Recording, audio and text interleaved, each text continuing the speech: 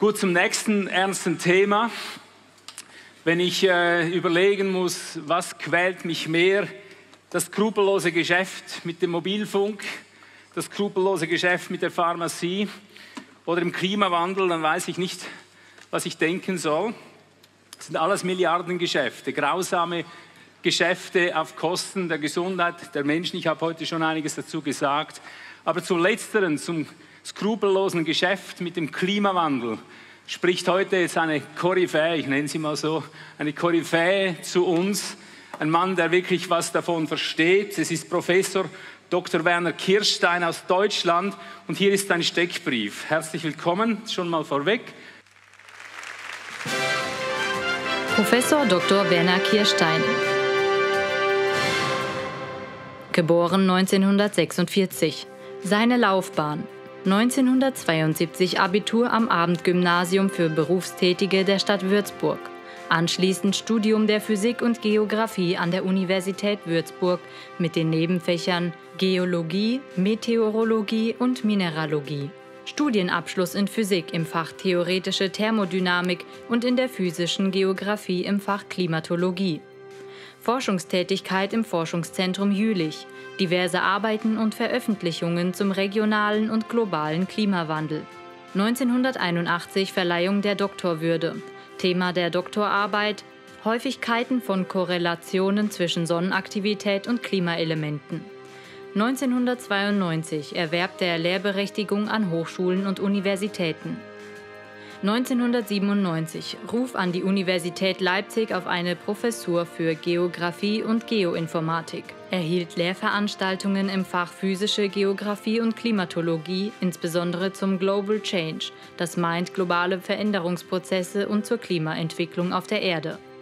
Es folgten diverse Veröffentlichungen im Bereich Klimaänderungen, in denen er die Zusammenhänge von Erdklima, Klimaerwärmung und CO2 aus einer ganz anderen Perspektive aufarbeitete, als dies die vorherrschende Klimapolitik der heutigen Zeit tut. In den vergangenen Jahren hatte er zahlreiche Auftritte in öffentlichen Seminaren und Vortragsveranstaltungen zum sogenannten menschgemachten Klimawandel. Professor Dr. Werner Kirstein, ein erfahrener Klimatologe, referiert heute zum Thema der politogene Klimawandel.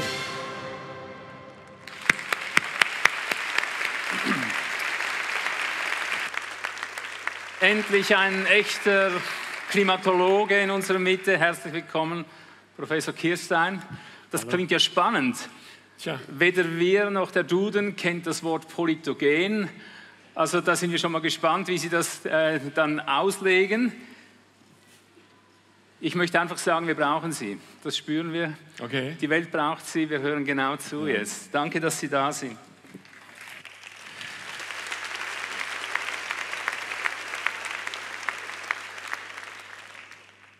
Ja, das Wort Politogen, muss ich sagen, habe ich vorher auch nicht gekannt. Ich habe mir gedacht, das trifft eigentlich die Sache besser als der anthropogene Klimawandel. Es gibt keinen anthropogenen Klimawandel. Und wenn man das jetzt auf den Punkt bringt, dann sagt man, ja, es ist nicht vom Menschen, anthropogen heißt ja vom Menschen gemacht, aber es ist von der Politik gemacht, deswegen politogen. Ich hoffe, ich habe ein neues Wort geschaffen.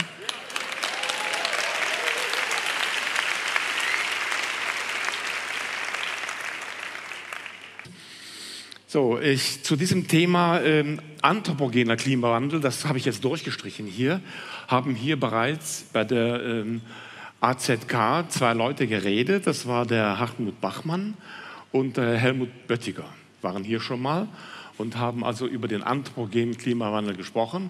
Ich habe den jetzt umgetauft, wie gesagt, in den politogenen Klimawandel. Ich finde, das trifft die Sache einfach besser. Ja, ähm, wollen wir mal schauen. Wir haben ja schon das erste Bildchen da drin stehen. IPCC kennt jeder, dieses Intergovernmental Panel on Climate Change, ähm, ist eine politische Institution letztlich. Also man sieht, dass hier auch das, die Politik jetzt, wie wir im Folgenden sehen werden, immer stärker reinkommt. Und ähm, weiter haben wir hier äh, die World Meteorological Organization, also WMO, eine Sonderorganisation der Vereinten äh, Nationen. Auch hier sehen wir, steckt im Endeffekt die Politik dahinter. Wer ist noch beteiligt? Ja, die Weltklimabank. vielleicht haben Sie es mal verfolgt, dass jedes Jahr fast regelmäßig die Weltklimabank an die Klimakatastrophe erinnert. Ich sage, oh, da sitzen die Experten wohl für über Klima. Lauter Klimatologen in der Klima, Weltklimabank. Ja, warum machen die das? Ne? Wir kommen noch drauf. Die Weltklimabank profitiert natürlich davon, wenn das Geld fließt durch oder wegen des Klimawandels. Dann haben wir hier, sehen Sie, Deutschland, Euro, Europäische Union, noch viele andere Länder, passen die Flaggen nicht alle rauf, haben damit zu tun mit ähm, dem Klimaschutz. Da komme ich auch später noch drauf, was Klimaschutz eigentlich soll, dieser Begriff.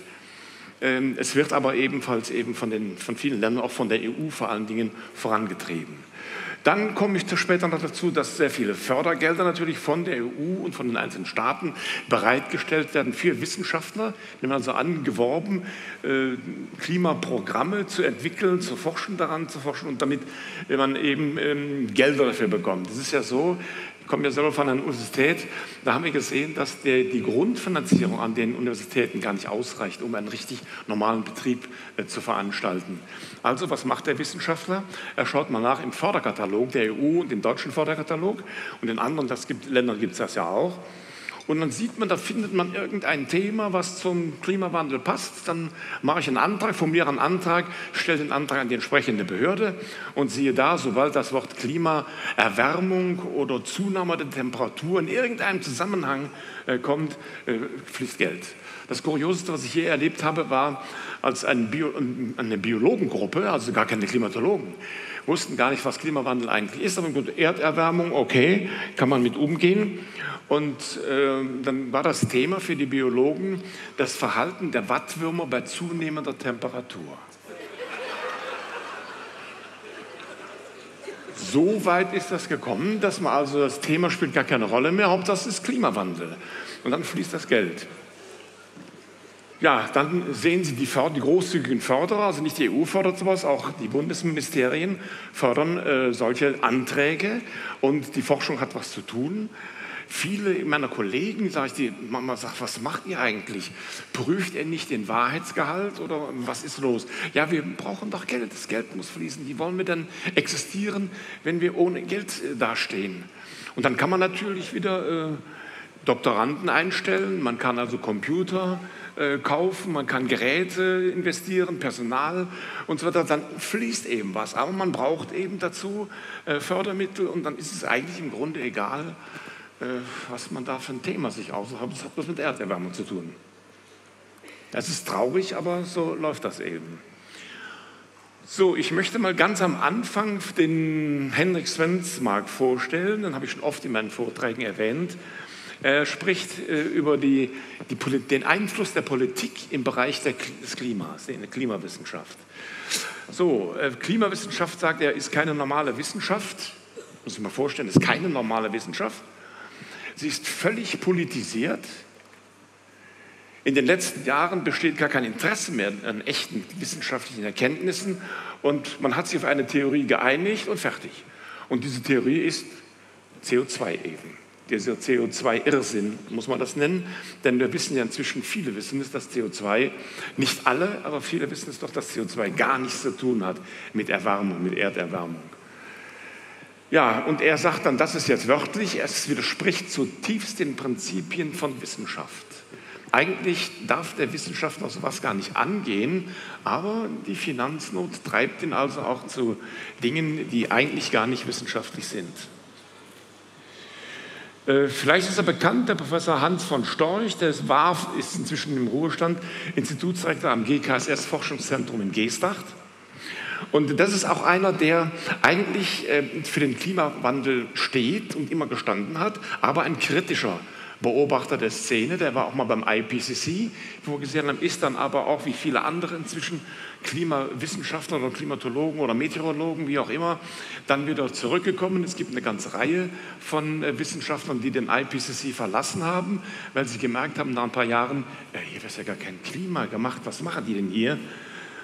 wird also Politik und Sozialwissenschaften, wird also, man dreht an der Schraube, ne, wie kann man damit das vermarkten und die eigentliche Wissenschaft. Und das ist wirklich ein Vertreter der, ähm, des Klimawandels. Äh, und der hat also gesagt, die Klimaforschung ist nicht normal, sondern postnormal. Das ist genau das Gleiche, was eigentlich das Ähnliche, was vorhin äh, Svensmar gesagt hat. Erstaunlich für einen, also sag ich mal, der den Klimawandel ja vorantreibt und ja will, dass das aber übt wirklich eigene Kritik im eigenen Laden. So, was ist postnormal? Der postnormale Wissenschaftler, sagt er, tritt als Anwalt einer wertorientierten, natürlich guten Sache oder einer politischen Agenda auf. Im Endeffekt ist das gut, was der Mensch da erfährt. Wir können froh sein, dass wir diese Politiker haben, die wollen ja nur Gutes von uns. Ja, er sieht das ist auch kritisch. Und dann erwähne ich noch, denn ich nehme viele Kollegen jetzt hier oder Kollegen im weiteren Umfeld, damit es nicht so aussieht, als würde ich alleine dastehen, was mir ja oft vorgeworfen wird. Ich wäre also einer von denen, von den ganz wenigen, die das bezweifeln, den, die Klimakatastrophe und den Klimawandel. Äh, ist natürlich nicht so, aber man wird in diese Ecke gestellt. Es gibt viele Kollegen, die inzwischen äh, immer kritischer werden, so auf diese Linie kommen, weg von der Klimakatastrophe. Und Paul Reiter war übrigens auch einer, der beim IPCC war und auch diesen wieder verlassen hat, weil er gemerkt hat, hier wird was ganz anderes gemacht. Keine Klima, hier wird Politik gemacht. Und er sagt den schönen Ausspruch, der Global Warming Alarm kommt im Gewand der Wissenschaft. Zieht sie einen weißen Kittel an, kommt im Gewand der Wissenschaft daher. Aber es handelt sich nicht dabei um Wissenschaft. Es ist Propaganda. Und das Wort Propaganda wird bei mir nachher noch ein paar Mal fallen. Wir werden also sehen, dass auch die Medien darauf eingestiegen sind und eigentlich Propaganda machen. Sehr schönes Zitate. Und ein sehr schöner Ausspruch kommt auch hier, ein sehr schönes Interview führte Ken Jepsen mit Volker Bräutigam und Friedhelm Klinkhammer. Das waren ehemalige Tagesschau-Redakteure. Tagesschau, das wird auch noch gleich kommen, und ZDF. Und der sagt, die Tagesschau ist reine Propaganda. Nun, das ist ein bisschen sehr verallgemeinert, aber was er meint damit, dass bestimmte Themen in der Tagesschau anders dargestellt werden, als sie Wirklichkeit sind. Natürlich nicht alles, wenn über was weiß ich, äh, ein Unfall oder so, dann stimmt das schon. Aber an bestimmten Themen ist es eben, was die machen, äh, reine Propaganda. Ja, dann zitiere ich mal Georg Christoph Lichtenberg aus dem 18. Jahrhundert, wusste man das schon. Die gefährlichsten Unwahrheiten sind die Wahrheiten mäßig entstellt. Und das ist also wirklich so. Mäßig entstellt heißt jetzt Halbwahrheiten oder eben Lückenpresse. Wenn ich dir was weglasse, was wichtig ist, dann erzähle ich Halbwahrheiten. Und da kann ich nur daran erinnern, an das Bild hier von ähm, Ulrich Teusch, der das Buch geschrieben hat, Lückenpresse. Und das, der schöne Satz steht hier unten ganz links. Das Ende, also Lückenpresse ist das Ende des äh, Journalismus, wie wir ihn kannten. Also diesen Journalismus haben wir heute wohl nicht mehr. Ich zeige jetzt mal das Klima, die Bewegungen des Klimas in den letzten 11.000 Jahren. Sie sehen ganz links am Rand hier, vor 10.000 oder 11.000 Jahren ging die letzte große Kaltzeit, also die Eiszeit, wie man auch sagt, zu Ende.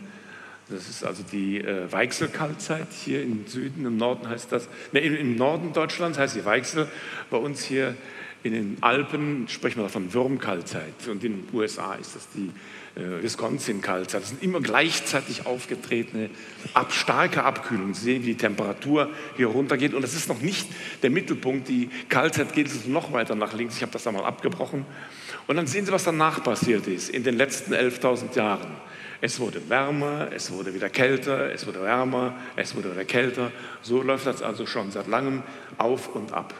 In der Mittelsteinzeit um 4500 vor Christus hatten wir eine relativ warme Phase, die nennt man auch in der Geologie und der Geografie Atlantikum. Dann wurde es wieder kühler und im Subboreal 2500 vor Christus, das ist der Jungsteinzeit, da wurde es wieder sehr warm. Und wir hatten in der Bronzezeit wieder eine Erwärmung, aber die interessante Erwärmung ist die Römer-Warmzeit, zur Zeit also Christi Geburt, der Römer, war es auch relativ warm. Also da haben die nicht gefroren, das war ganz schön äh, warm geworden. Und dann haben wir ähm, wieder die kleine Eiszeit, die also im 17., 18. Jahrhundert war. Es hat sich wieder etwas abgekühlt. aber nicht so wie bei den großen Kaltzeiten. Und danach, aus dieser kleinen Eiszeit, kommen wir gerade raus. Das heißt, wenn wir aus einer großen oder kleinen Eiszeit verlassen, muss es natürlich wärmer werden. Das Argument habe ich immer gehört, ja, aber es ist doch wärmer geworden. Ja, bitte, ganz natürlich ist es wärmer geworden. Das muss man im Blickwinkel halten, wie wir also hier in die Irre geführt werden. So, und dann habe ich hier diese letzten, äh, die letzte Periode nochmal etwas deutlicher herausgestellt, also die Warmzeit um 1200, äh, das mittelalterliche Optimum wäre das. Dann kommt diese kleine Eiszeit und da sind wir heute ganz am rechten Bildrand. Und das möchte ich jetzt mal vergrößern und mal größer darstellen. Und da sehen Sie, äh, welche Halbwahrheiten und Falschaussagen uns präsentiert werden. Wir haben nämlich in der oberen Abbildung, sehen Sie, was ich vorhin auch schon gezeigt habe, nur etwas aufgeschlüsselter und detaillierter. Da ist das mittelalterliche Optimum zu sehen, so um 1200, also war bei uns die Zeit der Gotik, da war es auch sehr schön warm. Dann sieht man hier, wie es kälter geworden ist und diese ständigen Schwankungen auf und ab. Und ganz rechts am Ende sind wir heute angekommen. Und was wird uns von der Klimawissenschaft präsentiert? Die untere Kurve. Vielleicht haben Sie es alle mitbekommen, die Hockeystick-Kurve, die Mann propagiert hat damals. Ja, propagiert ist gut, das war eben Propaganda. Und Sie sehen, man hat also einfach die Zeit vorher von 1000 an 1214, 16 und so weiter das Klima so konstant gehalten. Das war, hat sich nicht viel verändert. Ja, die wirkliche Kurve sehen Sie oben. So werden wir also sozusagen hinters Licht geführt. So, dann wurde natürlich damit auch zum Ausdruck gebracht, dass wir an das Klima also eine Art Gleichgewichtszustand sei. Das ist es aber nicht. Wenn wir oben hinschauen, sondern sehen wir, dass das Klima eigentlich nie im Gleichgewichtszustand war, sondern es immer eine Dynamik gegeben hat. Ja, das, ist, müsste ich jetzt hier nochmal wiederholen, mäßig entstellt durch die Klimawissenschaft. Ich würde sagen, das ist nicht mäßig entstellt, das ist unmäßig entstellt. Gar nicht mehr wiederzuerkennen. Ja, Klima und Natur in Gleichgewichtszustand, das ist die Frage. Das rezente wie auch insbesondere das historische und das prähistorische Klima war zu keiner Zeit in einem stabilen Gleichgewicht, das ich vorhin schon angedeutet habe sondern es ist ewig eine Entwicklung. Es hat schon immer, das weiß eigentlich jeder inzwischen, der in der Schule aufgepasst hat, hat schon immer im Laufe der Erdgeschichte große und kleine Klimaschwankungen gegeben. Äh, über längere oder kürzere Zeiträume, jedenfalls war das nie konstant. Die Vorstellung, sagt Josef Reichholf, ein Theologe, die Vorstellung von einem Gleichgewicht in der Natur ist ein grundlegender Irrtum des Ökologismus. Ökosysteme sind immer im Fluss, sind immer in Entwicklung, die entwickeln sich immer weiter. Diese Idee, da würde ein Gleichgewicht vorherrschen, das wird uns einfach suggeriert. Das stimmt überhaupt nicht.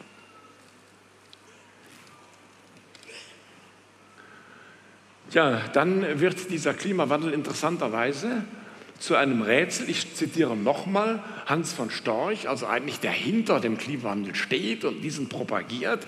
Der sagte dann, Interessanterweise im Spiegelgespräch mit äh, Olaf Stapf und äh, äh Gerald äh, Traufetter sagt er, wir stehen vor einem Rätsel. Das ist schon 2013, das ist schon ein paar Jahre her. Wir stehen vor einem Rätsel. Als Klimawissenschaftler sagt er das.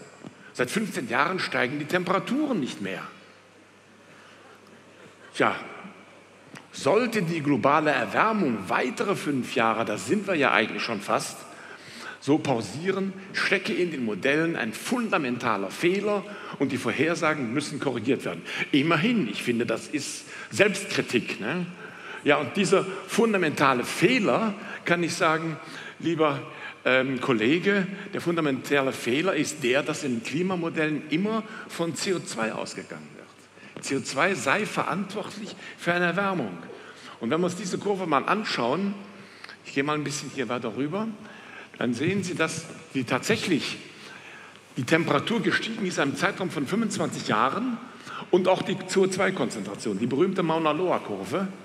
Beides stieg an und da kam eigentlich die ganze Geschichte auf in den 80er Jahren, dass man gesagt hat, wenn die Temperatur steigt, das CO2 steigt auch Oder umgekehrt, wollen Sie ja sagen, CO2 steigt und daraufhin äh, steigt auch die Temperatur an.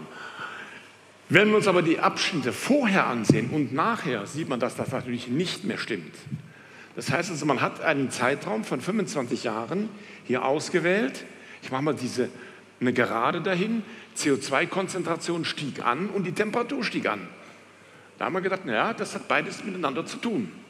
Was so zunächst, wenn man so aufs Laie darauf schaut, ja, gut, könnte ja sein. Aber bitte, was ist denn mit den Zeiten davor und dahinter?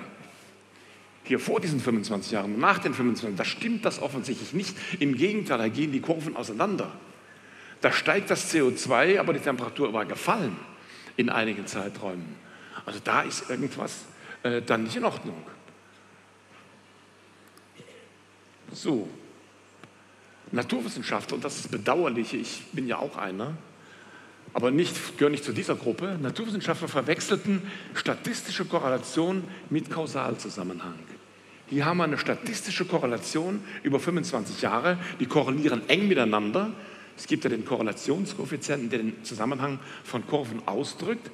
0,97 ist schon sehr hoch. Ja, okay, danke. Das ist schon sehr viel. Hier dieser Anstieg und dann hat man diesen Zusammenhang, diese statistische Korrelation einfach als Kausalzusammenhang äh, interpretiert. Was völlig falsch ist und ich schäme mich für meine Kollegen Physiker, die, das, die darauf gekommen sind. Und warum ist das so gelaufen? Die Deutsche Physikalische Gesellschaft hat im Jahre 1986, glaube ich, war es, die Klimakatastrophe ausgerufen. Das war in einer Konferenz in Bonn im Hotel Tulpenfeld. Da wurde propagiert in einer Pressekonferenz, die Pressevertreter waren alle da, wir haben eine Klimakatastrophe. Warum sagen Physiker das, die vom Klima ja auch nicht unbedingt viel verstehen, keine Klimatologen sind? Warum sagten sie das? Weil in der Zeit, in den 80er Jahren, die Kernenergie eine große Krise hatte. Die Akzeptanz der Kernenergie ging runter, es gab Proteste, Polizeieinsätze, Wasserwerfer, man musste die verjagen, die gegen die, Klima, äh, gegen äh, die Kernenergie vorgegangen sind. Da dachten die Physiker, das ist nur die Gelegenheit, wir verkaufen jetzt die Kernkraftwerke als emissionsfrei, CO2-emissionsfrei und damit gewinnen wir wieder äh, Akzeptanz zurück. Ja, leider ging die Rechnung nicht auf. Drei Monate später kam die Tschernobyl-Katastrophe. Traurig, aber man hat es halt versucht. Ja, wie nennt man sowas in der Statistik? Einen solchen Zusammenhang über 25 Jahre? Eine Scheinkorrelation. Es ist eine Korrelation, aber sie hat nichts mit Kausalzusammenhang zu tun. Deswegen Scheinkorrelation. So, und was man noch lernen muss, das habe ich in jeder Statistikvorlesung bei den Geografen immer wieder gesagt, Leute, Korrelation ist nicht gleich Kausalität. Und das ist ein Riesenunterschied.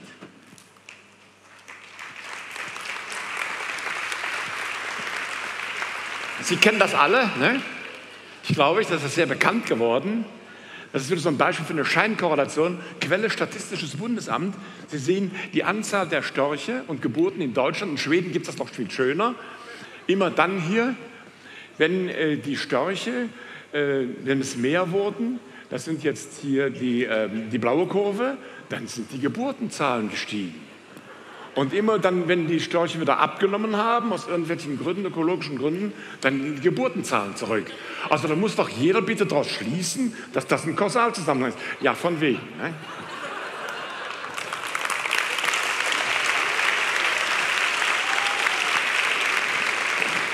Es gibt in Amerika, in den USA pfiffige Leute, die finden solche Scheinkorrelationen so schön, die suchen in der Statistik jetzt, wo gibt es noch so verrückte Fälle. Das haben die natürlich auch aufgedeckt. Bitte, das sind statistisch wirklich echte Daten, die da kommen. Und da habe ich noch zwei andere dazu.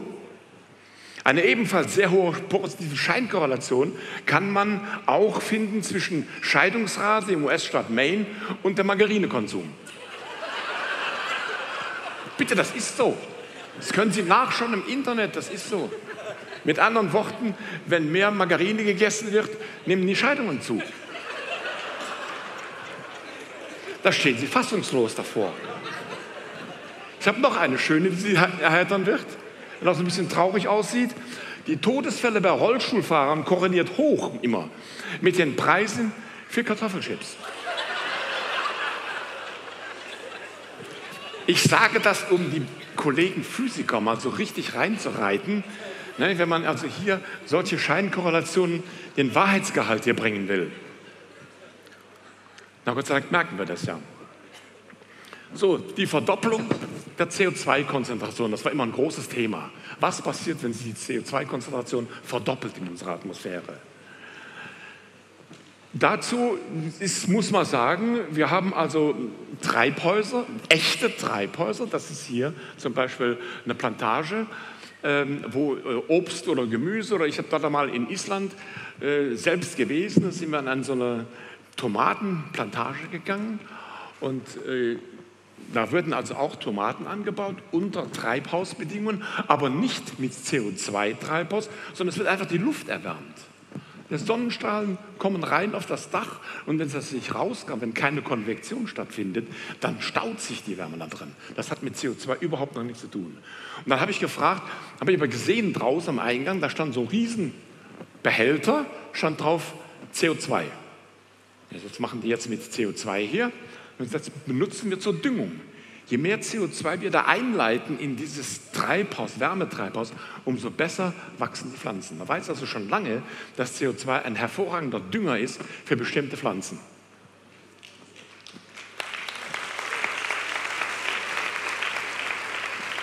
So, in vielen Gewächshäusern wird,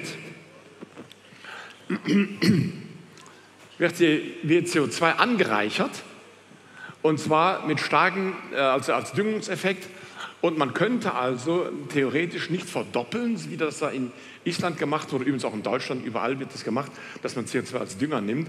Man könnte also nicht nur verdoppeln, sondern theoretisch sogar vervierfachen. Bis dahin würden die Pflanzen das vertragen und aufnehmen, nicht nur vertragen, sondern würden davon profitieren. Woran liegt das? Man muss unterscheiden bei den Pflanzen zwischen C3 und C4-Pflanzen.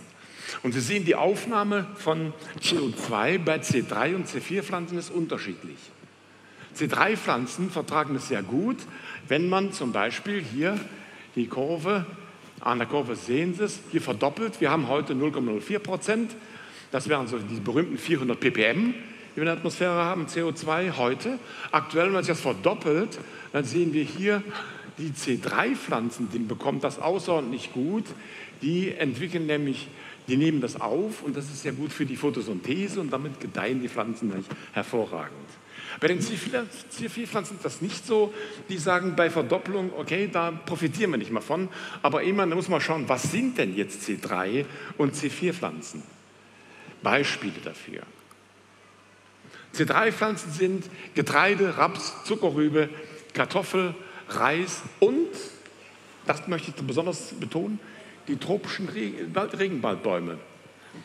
Das hier sind alles Pflanzen, die bei uns in unseren Breiten angebaut werden. Getreide, Raps, äh, Kartoffeln und Reis.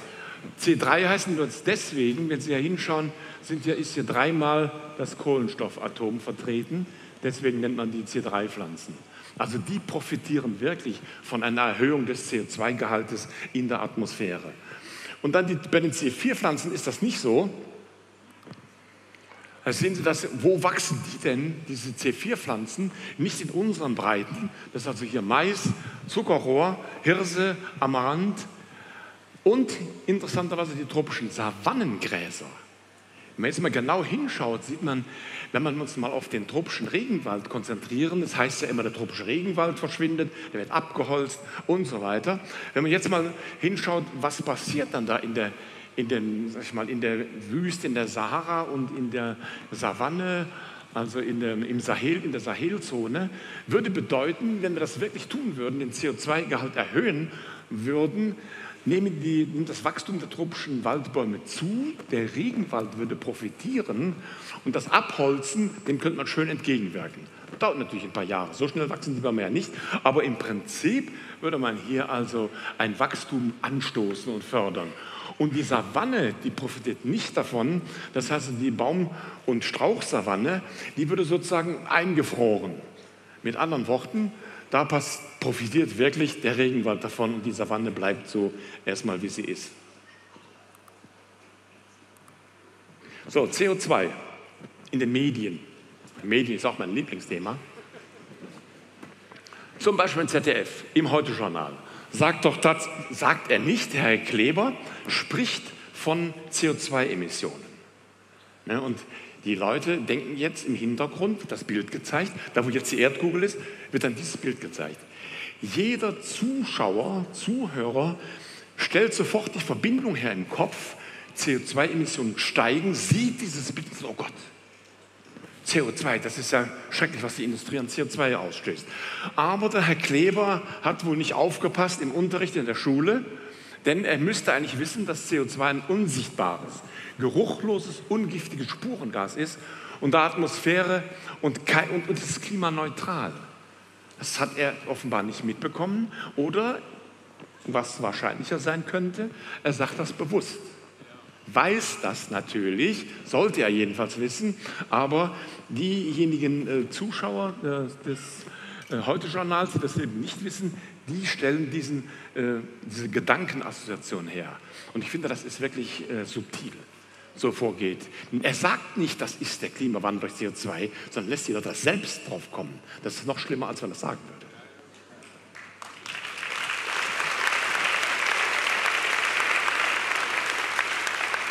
So, was ist in Wirklichkeit los? CO2, sagte ich vorhin schon, ist lebenswichtig für Flora und Fauna, insbesondere für das Nachwachsen der tropischen Regenwälder.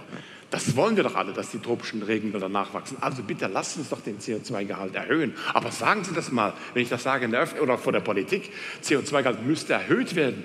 Das sind Sie Verschwörungstheoretiker. Sie haben jetzt schon wieder einen Verschwörungstheoretiker vor sich. Das ist doch schlimm.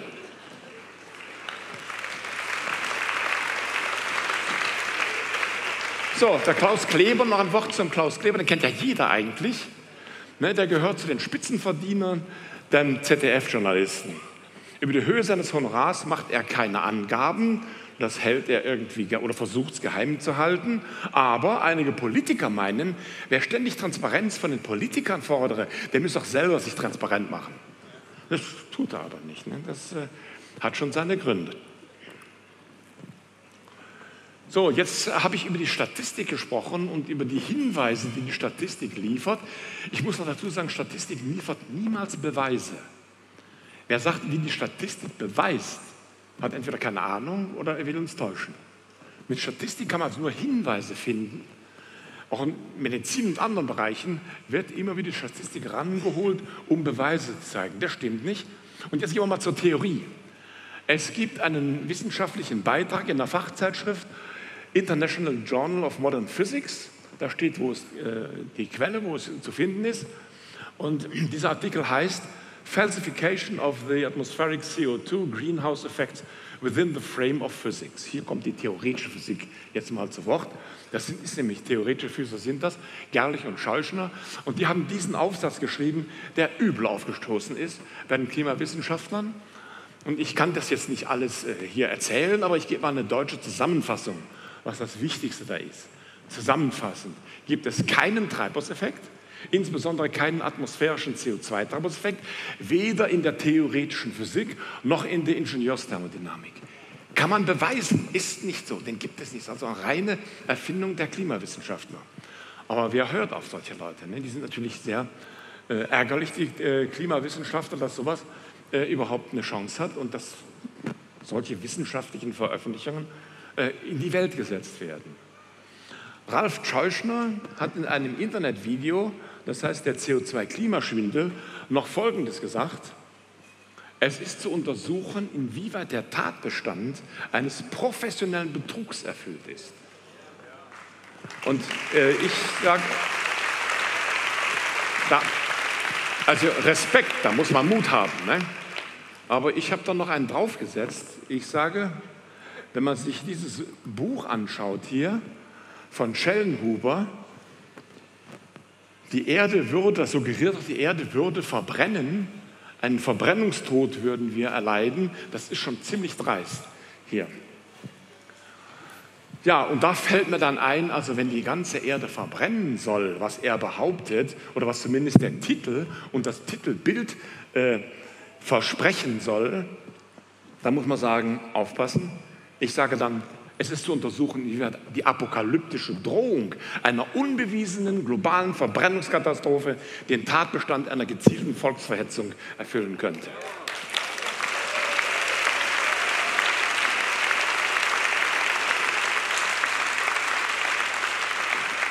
Und da sind wir beim Thema, was heute schon mal angekommen ist. Ne, das haben Sie schon mal erwähnt. Schauen wir mal nach in das Schweizerische Gesetzstrafbuch rein. Ähm, Schrecken, Schreckung der Bevölkerung. Das habe ich jetzt mal dahin gestellt. Ich nehme immer mal das Buch daher. Das ist ja nun ein Schrecken der Bevölkerung. Und da steht, wenn die Bevölkerung durch Androhen oder Vorspiegeln einer Gefahr für Leib und Leben oder Eigentum in Schrecken versetzt, wird mit Freiheitsstrafe bis zu drei Jahren oder Geldstrafe bestraft. Da kann doch der Schellenhuber froh sein, dass er nicht hier in der Schweiz lebt.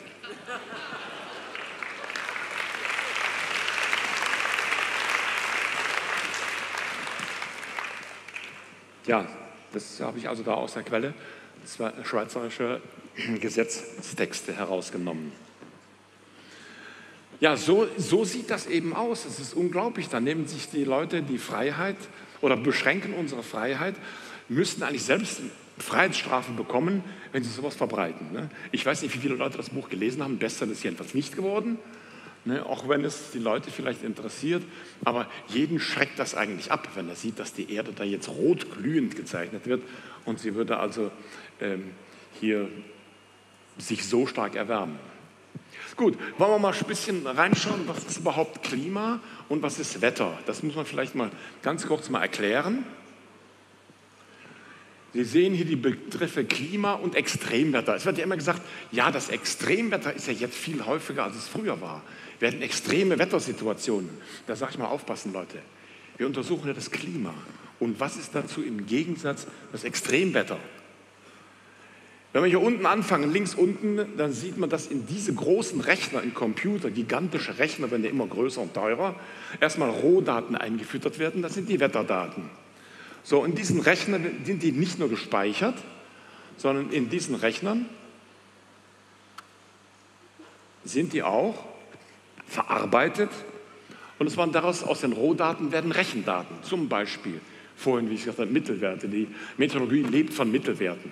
Wir brauchen also Tagesmittel, Monatsmittel, Jahresmittel und dann kann man immer ein Klima irgendwann eine Aussage machen. So, Millionen meteorologischer Daten sind also in Großrechnern gespeichert. Meteorologische Daten. Wo sind jetzt die Klimadaten? Das Klima steckt jetzt da mit drin, wenn man einen genügend langen Zeitraum beobachtet. Im Grunde ist das Klima eigentlich ein virtuelles, globales Modell. Ne, dann ist es virtuell, es ist ja nicht, ich kann nicht rausgehen und sagen, ah, was haben wir für ein schönes Klima. Ich kann immer sehen, es scheint die Sonne, die Temperatur, Niederschlag, Nebel, Wolken äh, und so weiter, Sonnenscheindauer. Das sind Wetterdaten. Aber was da gespeichert, die sind da gespeichert. Aber daraus jetzt Rückschlüsse zu ziehen auf das Klima, das ist also sehr mehr als gewagt. So, das globale Klima ist also ein virtuelles Datenmodell, das man übrigens nicht schützen kann. Wie soll ich denn solche Millionen von Daten schützen? Eine Mauer drum bauen oder wie stellen sich die Klimaschützer das vor? Ne, diese virtuellen Daten im Rechner können nicht Extremwetter in der Natur verursachen, sondern es ist eher umgekehrt. Auch die Extremwetter sind in diesen Wetterdaten drin enthalten.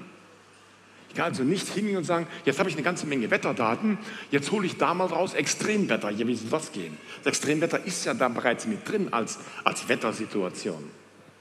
Also da wird uns auch wieder was vorgelogen oder vorgetäuscht, was man normalerweise gar nicht so leicht nachvollziehen kann. Es wird uns oft durcheinander gehauen, Klima und Wetter. Das muss man jetzt mal, denke ich mal, klar und deutlich sagen, was das für ein Riesenunterschied ist.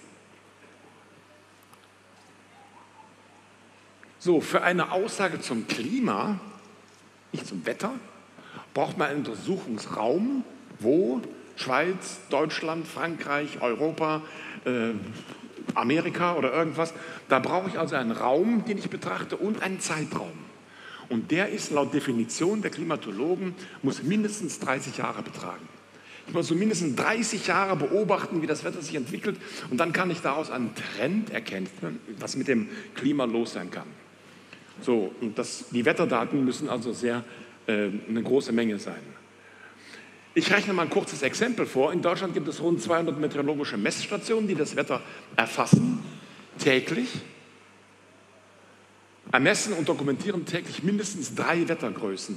Ich sage mal mindestens drei sind natürlich in Wirklichkeit mehr. Die wichtigsten, mit denen ich mich damals auch an meiner Doktorarbeit befasst habe, sind Luftdruck, Temperatur und Niederschlag. Das sind die wichtigsten drei. Die werden auf jeden Fall täglich erhoben und festgehalten. So, wenn ich jetzt zum Beispiel das Klima in Deutschland über 30 Jahre lang, das ist der Mindestzeitraum, 30 Jahre, betrachte, dann muss ich rechnen, 30 Jahre mal 365 Tage mal 200 Messstationen. Das gibt 2,2 Millionen Daten für einen Parameter, für die Temperatur beispielsweise. Da habe ich einen Parameter, da brauche ich also 2,2 Millionen Daten.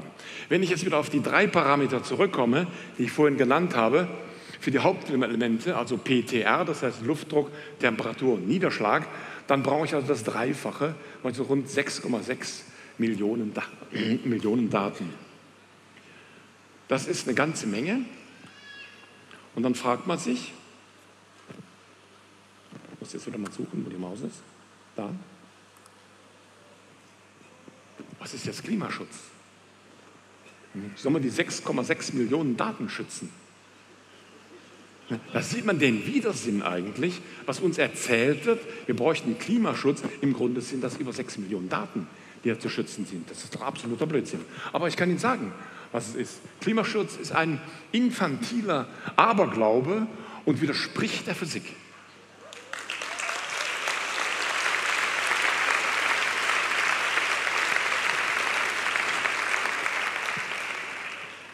Wo wir ja hier in den Alpen, sozusagen am Rande der Alpen sind, gehe ich auch mal auf die Alpengletscher ein. Es wird ja immer erzählt, die Gletscher wandern zurück, sie entwickeln sich rückwärts. Wenn Sie mal genau hinschauen, stimmt das auch, aber nur wieder für eine gewisse Zeit, für einen gewissen Zeitraum. Der letzte Gletscherrückgang begann vor 30 Jahren, hier an dieser Stelle. Und dann gehen die Gletscher, wie man sieht, zurück. So, das liegt an Temperaturerhöhung und hier unten habe ich mal reingezeichnet diese CO2-Anstiegskurve. Die unten haben nichts miteinander zu tun, sondern der Gletscherrückgang liegt alleine am natürlichen Anstieg der Temperatur. Inzwischen steigt sie aber nicht mehr, die Temperatur. So langsam müssten die Gletscher wieder reagieren. So, das wird uns verkauft. Was davor passiert ist, deswegen geht es nach links so weit offen, ist doch Folgendes. Das sieht doch ganz anders aus, wenn ich mal die Zeit davor betrachte. Da sehen Sie, dass die Gletscher nicht nur zurückgegangen sind hier, die mussten erstmal steigen, bevor sie zurückgehen können. Der Gletscher wurde also erstmal größer. Hier 1920 rum hat es wieder so einen Abfall, einen Gletscherrückgang gegeben und kurz vorher einen Gletscheranstieg. Und hier 1900 ebenfalls. Und wenn Sie mal Professor Gernot Patzel von der Universität Innsbruck folgen, seinen Ausführungen, dann hat er Belege dafür gefunden, dass die, diese Gletscher immer vor und zurückgehen. Das kann man also nicht mit Modelle, sondern experimentell kann man das belegen. So entsprechend ist natürlich die Temperaturkurve gewesen. Zusammenfassend, in den letzten 11.000 Jahren waren die Gletscher während zwei Drittel dieser Zeit kleiner als heute, woraus auf Wärme, Klima, äh, Klima, klimatische äh, Verhältnisse geschlossen werden kann. Es war also schon mal wärmer und es war auch wieder kälter und es war auch wieder wärmer, es war auch wieder kälter. So, das ist nämlich, steckt dahinter, dass die Gletscher eine solche merkwürdige Bewegung machen.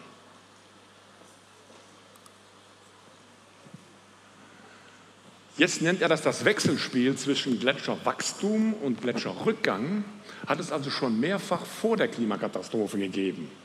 Es ist also eigentlich ein altbekanntes Phänomen, nur es wird nicht in der Öffentlichkeit publiziert. Das hat er herausgefunden. Und zwar interessanterweise hat er also Bäume untersucht, die in den Gebieten liegen, wo der Gletscher sich jetzt zurückgezogen hat, kommen wieder ähm, alte Bäume zum Vorschein und hat diese untersucht, altersmäßig mit COC-Carbon-Methode, ja, die äh, Messung, Altersbestimmungsmessung mit der C14-Methode. Und dann hat er gesehen, dass unter den zurückliegenden Gletschern, zurückgezogenen Gletschern da unten alte Baumstämme vorkamen. Das heißt, wenn uns suggeriert wird, dass eigentlich die Gletscher schon immer zurückgewandert sind, früher tiefer waren, Ja bitte, wo kommen denn diese Bäume her? Ich habe noch nie einen Baum wachsen sehen unter Eis. Kann gar nicht sein. Und das ist eigentlich ein richtiger experimenteller Beweis, fernab von jeder Theorie. Aber wie gesagt, das erfahren wir nicht. Ich war im Sommer, also August 2017, in Österreich im, an der Kaiser Franz Josefs Höhe in Kärnten. Und da kann man da oben von dieser Kaiser Franz Josef Höhe aus fotografieren und sieht den Gletscher Pasterze, wie der sich jetzt in welchem Stadium der sich befindet. Also hier, hier ist die Besucherplattform hier oben, das ist jetzt auf die Straße. Hier kann man stehen, fotografieren. Das Bild habe ich da auch gemacht. Und dann sieht man, der Gletscher hat sich jetzt da oben hin zurückgezogen. Was jetzt hierdurch noch gesagt werden muss, dass innerhalb eines Jahres zwischen Sommer, das war Sommer, zwischen Sommer und Winter es auch natürlich Schwankungen gibt. Kommt der Gletscher vor im Winter, geht er zurück im Sommer. Das sind auch Schwankungen. Dann gibt es aber noch Schwankungen, die, von denen ich vorhin gesprochen habe, die noch viel größer sind. So, man sieht also hier, der hat sich zur Zeit sichtbar zurückgezogen. Zur Zeit. Was davor war, kann man auch hier findet man übrigens stehen Schilder, Baumstümpfe untersucht. Auch hier war also schon mal nicht der Gletscher ganz unten, sondern muss schon mal oben gewesen sein, wenn da 100 Jahre alte Bäume zu finden sind.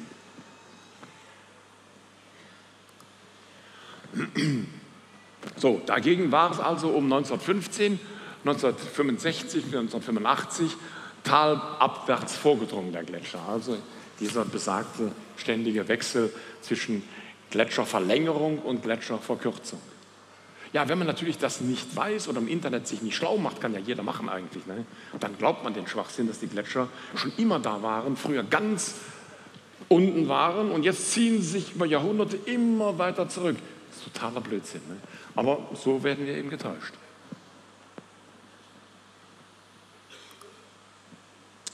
So, wie alle Alpengletscher, das ist auch in Österreich, zeigen diese säkulären Längenänderungen, das heißt diese ständige im Wechsel der Jahreszeiten und im Wechsel von Jahrhunderten immer wieder äh, Längenänderungen. Hier haben wir so Beispiele, die sehr gerne publiziert werden. Gletscherschwund und Klimawandel. Da zeigt man dann hier von 1890 diesen Gletscher in Schneeferne und dann im Jahre 2003 wie das denn jetzt sich zurückentwickelt. Da kriegt natürlich jeder einen Schrecken, wenn er nicht weiß, was da wirklich abgespielt ist, sich abgespielt hat. Ja, und hier ist nochmal die Kurve von Patzelt, wo man also sieht, wie die wirkliche Entwicklung aussieht, die leider die wenigsten kennen. Also immer auf und ab von Gletschern. Und das passt dann hier, muss man sich nur die Zeiten raussuchen. Dann kann man das also wunderbar belegen, dass tatsächlich hier immer ein Gletscher ähm, kommen und gehen war. Das Klima hat viele Aspekte. Ich kann hier noch ein paar rausgreifen, um Ihnen zu zeigen, was uns vorerzählt wird und wie die Medien nachher darauf springen. Der Eisbär war immer das Symbol der Klimaschützer. Und hier sehen wir, rechts steht es dran, das Bild ist eine Fälschung, hat jemand entdeckt, dass hier irgendwie montiert wurde. Also dieser einsame Eisbär ist nicht bedroht, nur und man hat ihn aber auf so eine Scholle gestellt, fototechnisch, ne, als würde es so aussehen, ja, mein Lebensraum schwindet jetzt. Ne. Das ist völliger Blödsinn. Man ist also auch zu Fälschungen bereit, um diesen Eindruck zu erwecken, der Eisbär ist durch einen sogenannten Klimawandel bedroht. Sehr schön, ich äh, zitiere nochmal hier einen Fachmann, äh, den ich glaube ich schon erwähnt habe. Die Behauptung, dass Eisbären durch den Klimawandel bedroht seien, ist falsch. Der Eisbär, und das finde ich besonders schön, was er dann sagt, der Eisbär lebt nicht vom Eislutschen. Noch schöner kann man es, glaube ich, kaum ausdrücken, sondern er lebt von Seehunden und anderen Meerestieren. Und deswegen leben auch die Eisbären bei uns äh, im Zoo. Und sie brauchen das große Eis eigentlich gar nicht. Das wird einfach so unterstellt.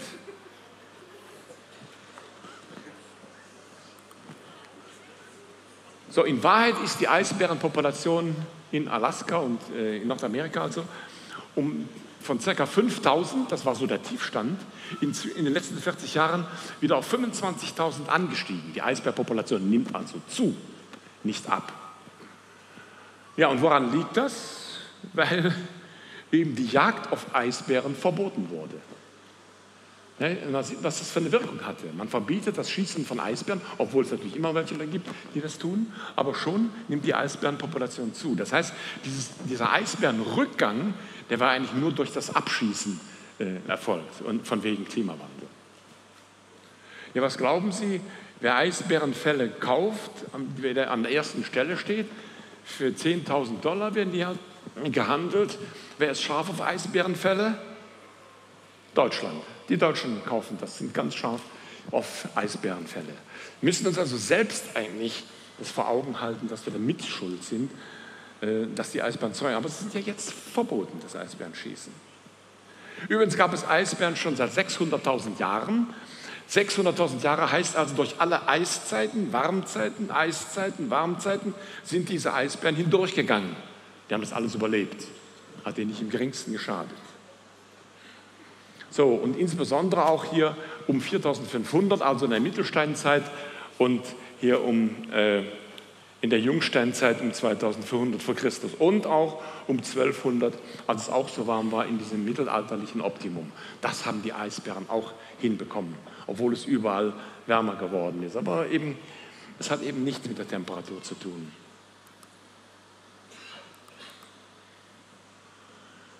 Vielleicht können Sie sich an den guten Herrn erinnern. Den müssten eigentlich alle kennen, weil er immer, wo eine Kamera steht, drängt er sich nach vorne und sagt, ich möchte was sagen zum Klimawandel. Und da verkündete er im Jahr die drohende, hier sehen Sie den Finger, die drohende Klimakatastrophe. Im Jahre 2000 verkündete Moje Plativ Folgendes.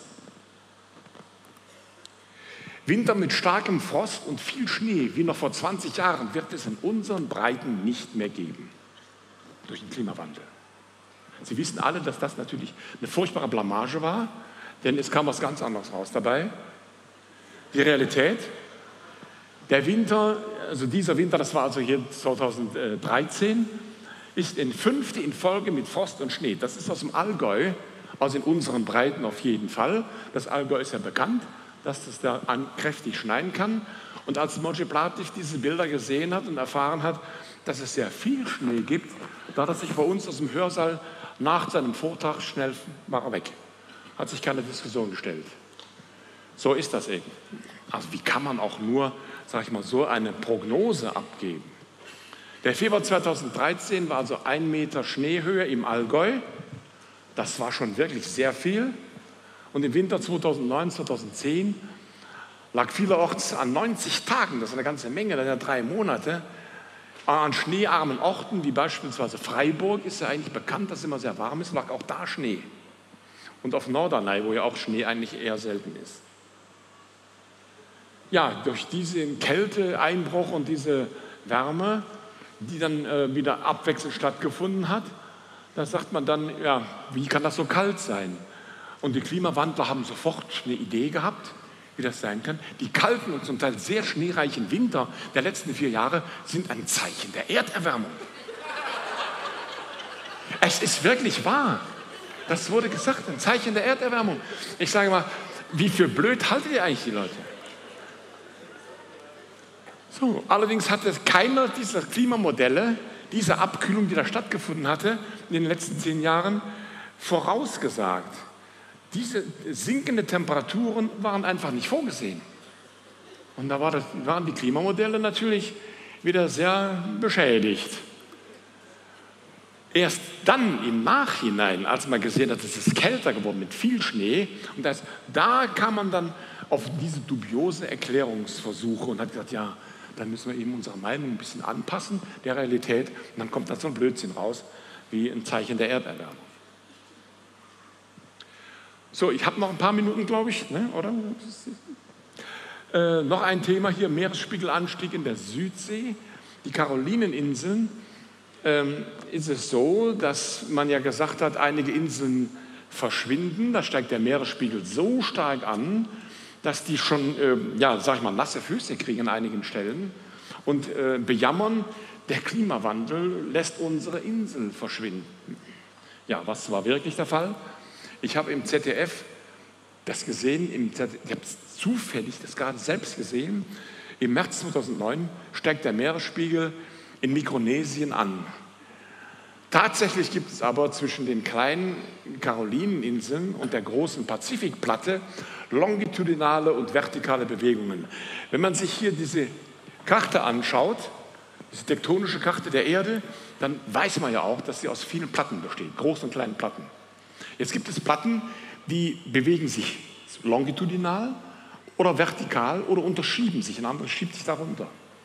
Und was das ZDF eigentlich hätte wissen müssen, dass es Platten gibt, gerade hier im Bereich der Karolineninseln, die sich durch die Tektonik absenken und dann sieht es so aus, wenn ich auf einer sinkenden Platte stehe, als würde der Meeresspiegel steigen. Das ist doch bewusst, man das kann, also so schlecht können die doch gar nicht recherchieren. Da steckt doch Absicht dahinter. Und im Übrigen, da habe ich mir das mal rausgesucht in, in Literatur, die Karolineninsel, wo die hier liegen. Da sehen wir diese grüne Linie, die hier ist, an dieser Stelle. Das ist die Plattengrenze.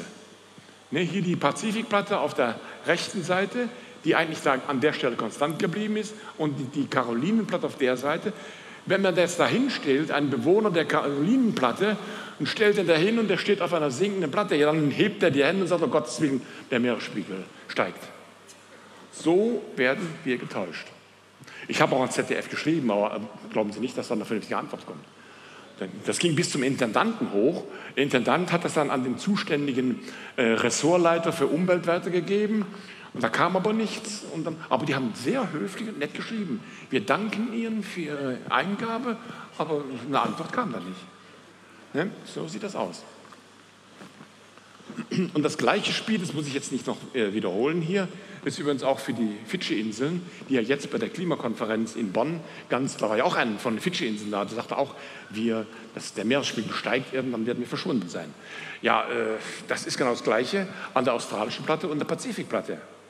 Dann sage ich mal, die Fidschi-Inseln könnten theoretisch tatsächlich überspült werden, man hat ein Recht, falls die lokale Platte weiter absinkt und nicht, falls sich die Erderwärmung, also die Erwärmung der Atmosphäre erhöht, sondern die Platte könnte noch weiter sinken, das weiß aber keiner genau. In der Geologie kann man diese Zukunftsentwicklung nicht so nachvollziehen. Sinkt die, dann werden die tatsächlich verschwinden. Und die Entwicklungsländer haben jetzt verstanden, Kapital zu schlagen aus dem Klimawandel. Die sind ihr Industrieländer, seid schuld, dass der CO2-Anteil so hoch gestiegen ist. Und wir, was machen wir, Industrieländer? Wir zahlen Ausgleichszahlungen an diese Länder. Kann man das noch verstehen? Aber hier muss ich mal den Spiegel loben. Ich will das nicht unterdrücken.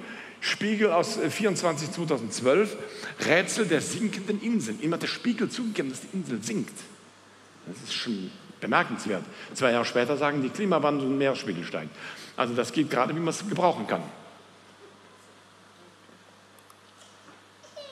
So, noch ein Wort zu der Klimatologin Petra Gerster, auch eine Fachfrau für Klima. Sie hat nämlich uns gezeigt, dass es sein kann im Jahre 2100, dass die Wüste hier oben, also die Sahara, so bleibt, aber hier, wo der tropische Regenwald heute ist, ist jetzt auch alles trocken und der tropische Regenwald verschwunden. Durch den Klimawandel, meinte sie. Da sage ich, äh, Frau Gerster, nicht aufgepasst im Erdkundeunterricht. Und mal fragen nach einer Erdkundenote, die sie gehabt hat. Sonst hätte sie eigentlich wissen müssen, dass die Zunahme der globalen Temperatur weniger, für wenige Grad die tropischen Regenwälder zum Verschwinden bringt, das ist absoluter Blödsinn, weil nämlich, warum, das lernt man in der Geografie, weil nämlich der Nordost- und der Südostpassat sich da treffen im Bereich des Äquators, haben wir alle mal gelernt. Und wo so große Strömungen, also Meeresströmungen und Winde zusammenkommen, haben wir aufsteigende Luft. Wo soll sie sonst auch hin, wenn sie zusammenkommen? Und aufsteigende Luft heißt immer Tiefdruckgebiete, Dauertiefdruckgebiete, also äquatoriale Tiefdruckrinne. Das kann man nicht durch zwei Grad oder drei Grad Erhöhung beseitigen, diese ähm, Strömungen auf der Erde. Ja, das ist diese Konvergenz der Passatzonen. Das hat sie wahrscheinlich nicht aufgepasst in der Schule. Und dann frage ich mich, warum soll sich der tropische Regenwald denn hier, der ja hier war oder heute natürlich noch da ist, immer noch ist, warum soll der sich dann nach Süden verschieben? Man könnte auch sagen, der kann sich ja nach Norden verschieben. Dann sagt, der verschiebt sich, ja wohin denn? Aber warum sagen die, das verschiebt sich nach Süden? Weil dann nämlich das Wüstengebiet größer wird, die Erde, die Sahel, der Sahelbereich verschwindet, es geht alles nach Süden, es wird trockener und die Wüsten werden größer. Als ich studiert habe Geografie, dann hieß es immer, hat mein damaliger äh, Professor schon gesagt, das stimmt gar nicht, die Desertifikation. Also das heißt die Ausbreitung der Wüsten. Im Gegenteil, die Savanne breitet sich aus. Die Savanne breitet sich aus, nicht die Wüste.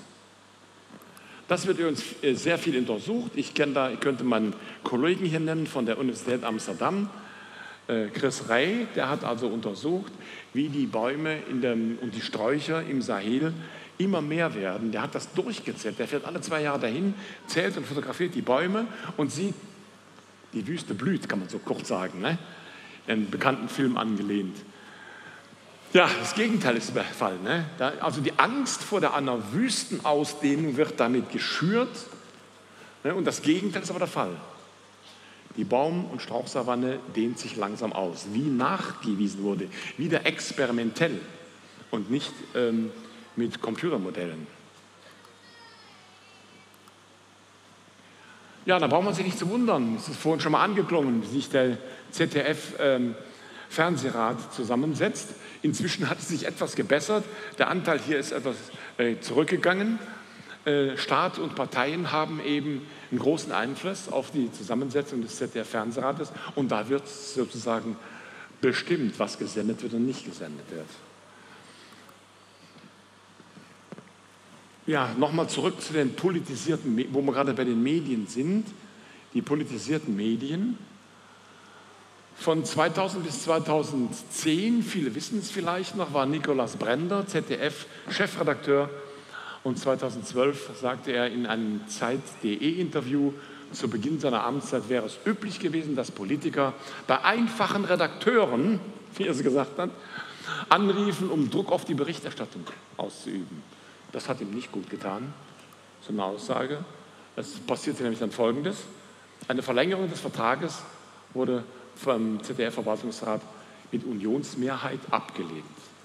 So passiert es also, wenn man da zu viel sich mit Wahrheit aus dem Fenster lehnt. Damit ist so ein Journalist zum Opfer eines parteipolitischen, einer parteipolitischen Machtdemonstration geworden. Nun muss man aber nicht nur, ich will ja nicht nur was Negatives sagen über die Medien. Ab und zu kommt es mal vor, dass was Positives versehentlich vielleicht gesagt wird. Und zwar gibt es an ARD ein Video, ARD spricht Klartext über den Klimawandel. Ne, da kommen also eine bekannte Klimawissenschaftler, nicht Klimawissenschaftler, sondern Klimatologen, die sich mit dem Thema wirklich seriös auseinandersetzen, Kritiker.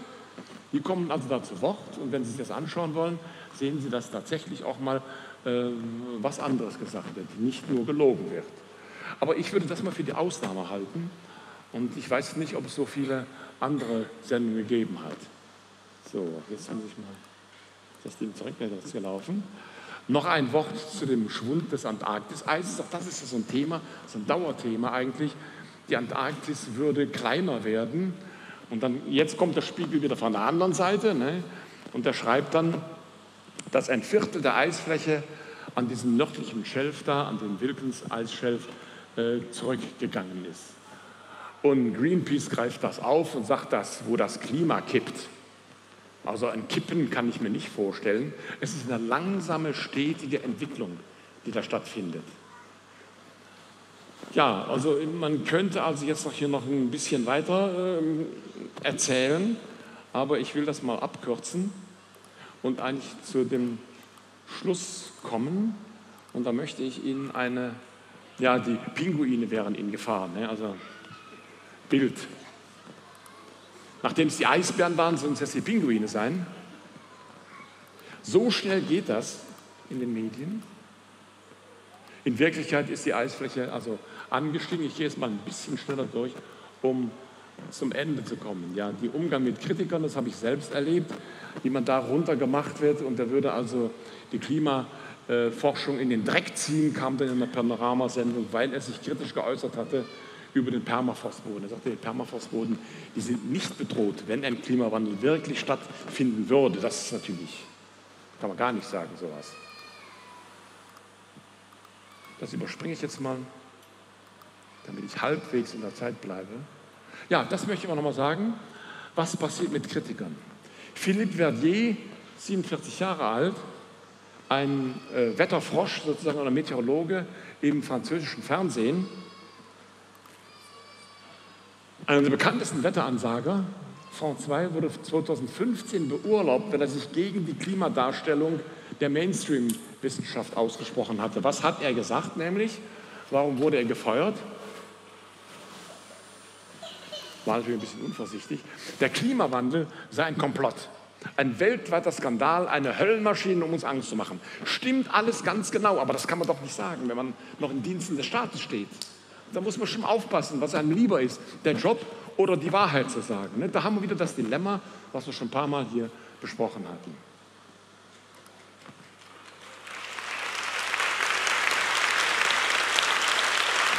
Thorsten Schulte ist jetzt nicht da, aber ich bringe das in Zusammenhang Kontrollverlust, das System verträgt immer weniger die Wahrheit.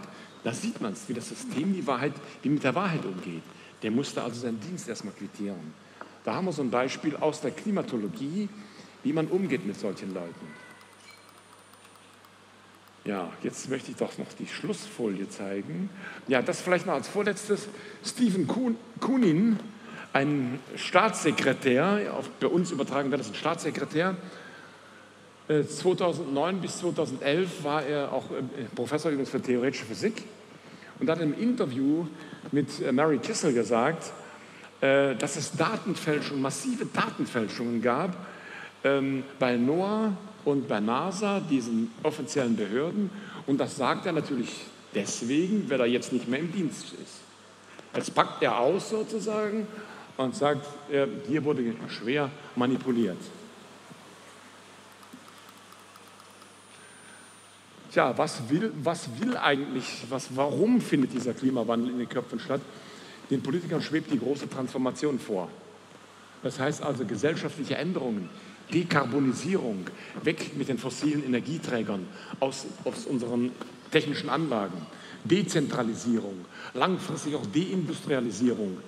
Was das in der Konsequenz bedeutet, dann wird man wieder ein Volk von Bauern und Handwerkern. Gut, das ist ein bisschen übertrieben vielleicht, aber Deindustrialisierung zielt darauf ab letztlich. Ankurbelung der Konjunktur, sage ich, ja gut, ist doch schön, wenn man die Konjunktur ankurbelt, aber warum brauche ich dann äh, das CO2? Das CO2 ist gar kein Klimakiller, aber man muss halt einen Bösewicht haben, der dafür äh, gerade steht, ranziehen kann. Ja, die Forschung hat natürlich, wie ich vorhin schon sagte, Fördergelder und Klimaschutzkonzepte gibt es dann in Orten und Städten, in kleinen Büros.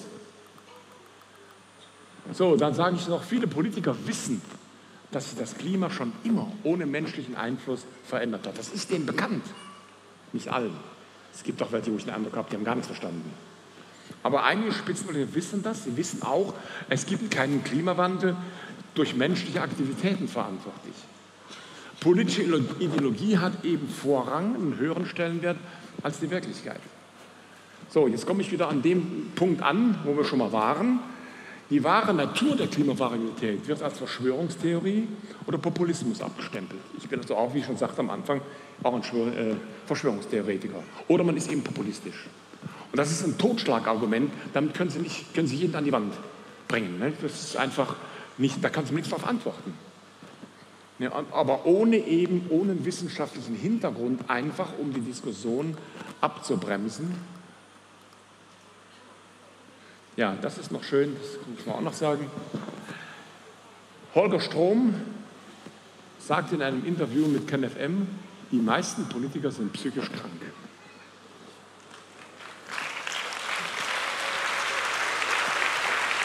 Und der renommierte Psychoanalytiker Dr. Hans-Joachim Marz geht noch weiter und bestätigt das und sagt, viele deutsche Politiker, Spitzenpolitiker, sind psychisch gestört. Die haben die Ideologie als riesige Scheuklappen und sehen nicht immer die Realität. Also das ist, der bedeutet das Krankheit. Ich meine, ein Psychoanalytiker, der hat das untersucht an vielen Aussagen. Das möchte ich jetzt mal überspringen, das kann man mal auslassen. So, da komme ich wieder zurück zu meiner These, der Klimawandel ist nicht anthropogen, vom Menschen also gemacht, sondern ist politisch gemacht. Eine, eine politische Ideologie er ist äh, politogen. Deswegen habe ich dieses Wort mal erfunden, um das mal zum Ausdruck zu bringen. So, man muss wirklich kein Klimatologe sein, um den menschengemachten Klimawandel zu entlarven als Inszenierung einer politischen Ideologie mit Hilfe ausgeklügelter Medienpropaganda. So sieht es also aus. Und mein Schlusswort, für mein Schlusswort habe ich mir hier äh, Sonja Margolina ausgesucht, weder Klimaexpertin noch äh, Politikerin, Sie ist also promovierte Biologin und Publizistin. Soll die Aussage unterstützen, man muss nicht Klimawissenschaftler sein, sondern es mit gesundem Menschenverstand. Und das ist schön, was sie sagt, das ist eine Zusammenfassung von dem, was ich jetzt eine Stunde erzählt habe. Das kann man schön zusammenfassen. Sie sagt als, als Nicht-Fachfrau auf dem Gebiet, Klimawandel ist ein Begriff, ist ein hochideologischer Begriff der die Utopie der Klimarettung zum Ziel des politischen Handels und zum moralischen Gebot erhoben hat.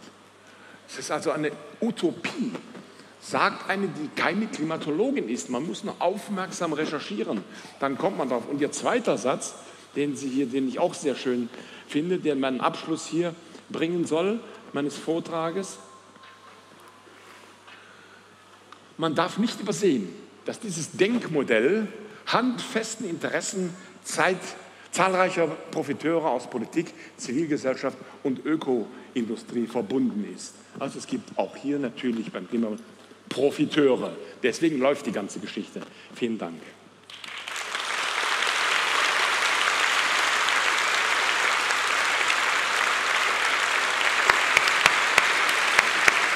Vielen Dank. Ganz hervorragend, ganz hervorragend, Herr Kissland. Herzlichen Dank. Gerne. Wunderbar. Ich möchte noch ganz kurz darauf hinweisen, dass an einem Tisch da hinten dieses äh, Blatt hier ausliegt. Das gibt also weiterführende Literatur, ist eine Auswahl natürlich, aber ich werde immer gefragt, wo kann ich dann das nachlesen? Ist das, das meine Ideen oder sagen viele, viele andere das auch? Hier eine schöne Liste. Wenn Sie wollen, können Sie diese Bücher besorgen oder einfach im Internet entsprechend da nachschlagen. Ja. Also man kann von bewusster Irreführung sprechen, bewusste Unterdrückung, Lückenpresse apropos, ja, ein krimineller Akt. Ja. Wir haben uns nicht abgesprochen, was er sagt, was ich am Morgen, was mich bewegt hat. In seinem Vortrag kamen die an, noch andere Punkte, die ich abgeblockt habe. Beim vorigen Vortrag kamen Punkte, die ich abgeblockt hatte bei mir. Es ist eine einzige äh, Identität von dem, was wir hier sprechen. Aber ich sehe eins, das ist eines der dringendsten Themen überhaupt. Jeden Morgen, wenn man das Radio einschaltet, Nachrichten hört, ist einfach Katastrophe, wie das gepusht wird. Ja. Mit Volldruck. Also wir werden schauen, dass wir diesen Vortrag so weit als möglich streuen und mit KlarTV publizieren, dass das einfach rausgeht, dass ein neues Bewusstsein entsteht. Ganz herzlichen okay. Dank nochmal. War Medizin. Endlich gute Medizin.